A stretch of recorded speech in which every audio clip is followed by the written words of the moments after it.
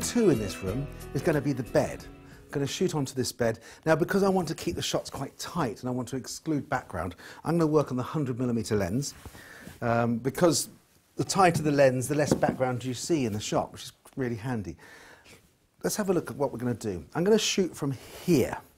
Now, what I'm going to have, I've got this, this window here, and I've got a light coming through the window. Of course, windows themselves aren't light sources. They're just apertures that the light comes through. And the light source itself is the sky. So I've got to be careful not to block too much of that. So if I get down low, that's the light from that sky will come over my head and into Stina's eyes. So Stina, who's, I'm going to have her head this end, maybe her feet background over here.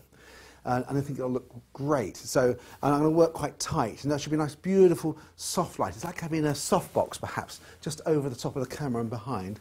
But I want the, the light to be, I want it to feel like we're in summer. So I'm going to put another light over here. I'm going to put a Lupo, which is a daylight balanced HMI light, up here, and create this sort of shaft of sunlight, as if it's coming through another window. Um, because it's dull, it's January, it's dark. I don't think I've ever seen a darker day than we've got today. I want everything to come alive.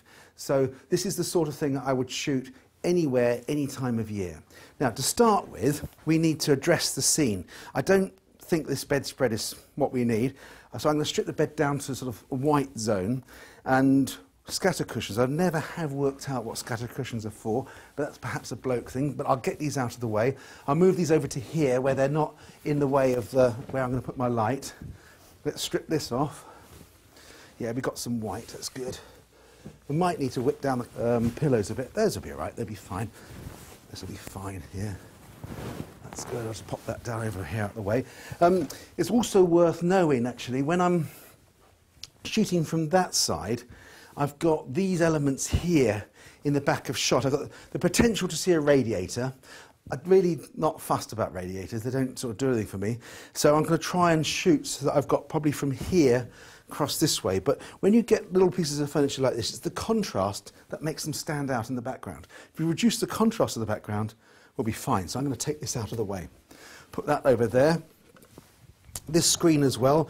This just as a an old fireplace here, I think this will be fine. So if I got that as an area of background, I think that on a 100mm lens that should look fine. So I've got to get the light in, then we'll get Stina in, and we're ready to go. Okay, here's my Lupo. Um, it's a, an HMI light. It's quite sort of chunky, but it's not heavy. So I'm just going to rig it over here, just put a bit of sunlight into there, something like that. Just going to plug it in. I tend to use extension leads when I'm working in the house because what I can do then is just move the light around in the room to any place of the room without having to unplug it and, and plug it back in in different places. It's just quite easy. So just put that into here. And into there. Okay, takes a moment for the light to sort of come up um, and get up to, up to speed. But while it's doing that, let me quickly show it to you. Um, it's just got a concentric rings here, and I can flood and spot the light to create a different effect. So it's like a mag light. You can spot it up and, and, and zoom it out. And I've got some barn doors as well. So I'm going to use these barn doors just to create a sort of slash of light across the bed, which is going to simulate sort of that sunlight. Let's get the light a little bit higher. I think that'll work well there. I've also got the opportunity, I can dim the light as well if I want to. I've got a one-stop dimmer on here. Um, I'm going to leave it just about there, that's fine. And once Stina's in, we can fine-tune the light as we, as we need. Great, so if you look at the bed here, you can see that the light, I'm not letting the light run over this side of the bed because I want the rest of the room and I want the, everything to be as dark as I can in a way. And just let the sunlight come across there. I think Stina's head will be here. And so I should get that lovely little rim light around her hair and it'll just be enough to make the picture look like it's a summer's day. Stina, could you like to come in? Oh, you ready? Good, okay. Now, what I'd like you to do is we come around the other side. I'm going to reverse it a bit, actually. I'd like your head to be this end here, and I'd like your feet to be over here. So you're sort of diagonally across the bed, sort of upside down on the bed, if that makes sense. And I'm going to shoot into this zone here. I might just move. Could you lie on your side for me? I'm going to just adjust this light, but looking out the window to there. Yes, that's about it there. That's fine. In fact, the light is in a good position. But if I bring it back this way, just that little bit, I'll make sure that I haven't got the stand in the back of the shot. I'll make, I don't want to be dealing with Photoshop, so having to edit out stands and things. We don't really want to use Photoshop at all if we can avoid it. Just working in Lightroom would be fantastic. Okay, that's good. Now, I'm shooting a lot of these pictures in colour, but the chances are I'm going to print them in black and white. Um, I just love black and white for boudoir type photography, but for the purposes of this video, I'm going to shoot everything in colour, but maybe in the post-production you'll see the black and white options. Okay, let's go and have a little look. Right, so I'm going to shoot from here. Now with that 100 mm I need to get back, as I say, I need to get back beyond here. Um, I'm going to use this chair, because if I get down into this chair, then I haven't, not blocking that sky. Great, okay. Work with a horizontal. Um, exposure, this is a good question, really. It's probably pretty close to where we were. It's window light. We've gone in another metre into the room from, the, from a little six I did earlier. So um, I think I might open the lens to stop. Actually, I'm going to leave it at 2.8. I'm going to take the shutter speed down to 80th. I'm on 800 ISO. Let's have a little look and see where we go to. Um, occasionally I look through the camera and I can see the sort of the, the linear, the analog scale in the camera and decide where the camera's going to set the exposure and then I have a little look at that. Um, but for the moment, I'm just going to look at this here. So we've got beautiful skin tone here. It's bright enough. This, this white top that Stina's got on is, is white here. I can still see a little bit of detail. Occasionally it's worth zooming in okay, and going in and just checking that you can see that that looks like white cotton, which it does.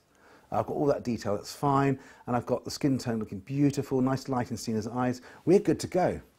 That's a nice exposure. It's 80th of a second, f2.8 at 800 ISO. And this beautiful rim light here looks like a sunny day. I'm going to start shooting. This is, looks fantastic. Just looking straight to camera for me. Just drop your chin down a little bit. That's it. And open your eyes up to me. That's lovely. Fantastic. Okay, straight, straight into the camera. Beautiful. Just bring your arm down and just rest your head down onto your arm. There, the other arm. Just rest your head down onto there. Um, does it fold underneath or is it going to might snap? Yeah. That's, yeah, that's quite nice. I like that. Love that. Actually. I look a little worried. I think it's a little bit less worried. Yes. Um, just dip your chin, bring your head down to there again. That's nice. Bring your hand across so you rest your head onto there. There. Lovely. That's beautiful. Hold that there. And just get down because I'm aware I'm just blocking the light. The pictures are looking fantastic. Just extend those fingers from, that's it, lovely. Thank you. Straight into the camera. That's it there. Put a little warmer and that expression. Yeah, that's nice. Yeah. That cool. Yeah, love that. Just your hands, your fingers a little yeah. curled. I just want them to just just rest them, just put them on your arm. The fingertips onto the, onto the top part. That's it there. Love. That's nice. That's beautiful. I want you to tuck, bring both hands down in front of you and just rest, rest your head down onto your hands as if you're just going to. That's it there. Hold that there. Lovely. That is fantastic. Close your eyes. Yeah. These pictures are looking fantastic. Brilliant. Thank you very much. Have please. Yeah.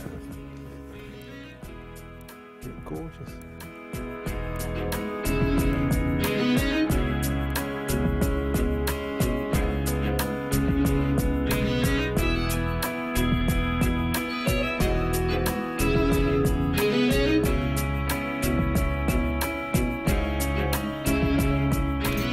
Do a couple more pictures. I'm going to do one from above. So I've been down here, shooting down at this eye height here. What I'm going to try and do, so I shoot from, let's say, sit up on here, then when Stina looks back up to camera, there's a sense of more vulnerability because I'm shooting from above.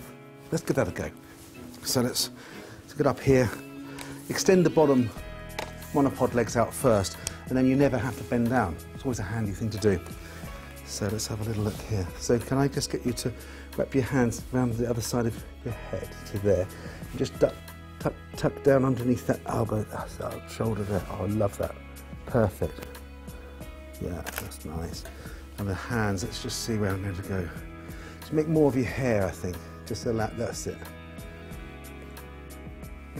Yeah. Per I love that.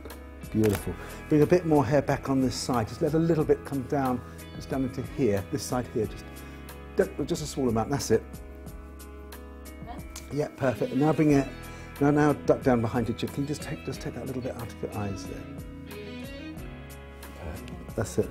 Yeah. That's it there. That's the light. That's the look I want. Beautiful.